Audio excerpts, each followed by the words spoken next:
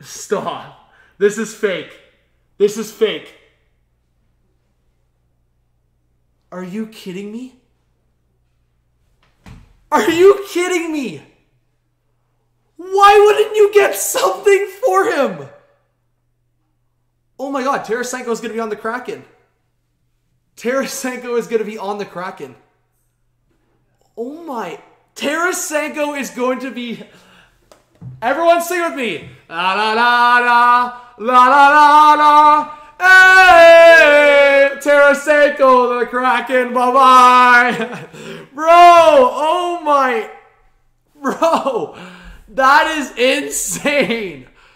Man, why wouldn't you try to get something? Something. There's no way the Kraken don't claim Tarasenko. Are you kidding me right now? Bro.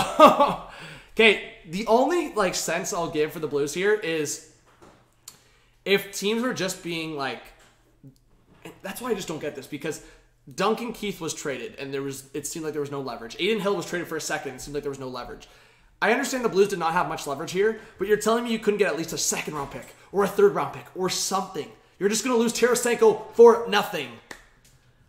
I just am I confused? Am I missing something? I get the injuries here. I get the attitude towards the organization. I get all of it. But are you going to be that spiteful to just be like, nah, we're just exposing this guy. We're sending a message. We're exposing this guy. You could have got something. Something. And honestly, I get a lot of teams probably wanted Tarasenko to be retained, like the Blues to retain at least some of Tarasenko's salary. But you're telling me there wasn't one team out there that was willing to take Tarasenko's contract?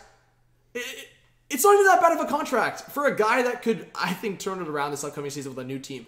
Oh my gosh, if this starts coming together where the Kraken get Tarasenko, they get Duchene, they get Eberle. I get these are big contracts, but these are guys that could put together a decent season in the Pacific Division. Do we not like? Are some people forgetting again that the Pacific Division is not that strong? It is not. This is giving a big chance for the Kraken to compete, to be good in the Pacific Division. If they start getting some of these big top six forwards, uh, and then they get experienced guys on the back end, if they get Giordano out of Calgary, um, and yeah, salary cap is a thing. But then you you you select other guys at low cap hits. Like for example, I'll throw Anaheim out there. You can get a Volkov or someone at a low cap hit. Um, same thing with like a Buffalo, for example. You get a guy at a low cap hit. This is crazy, man. The Pacific Division, yes, I think is probably by far, but at, for sure the weakest.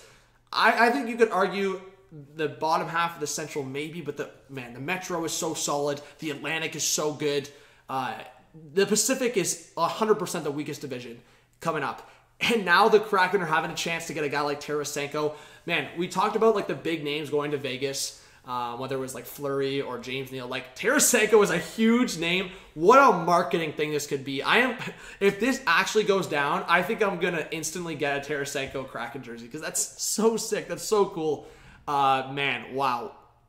I didn't think this was going down. I thought for sure if Tarasenko was gonna end up with the Kraken, it would be for like a trade.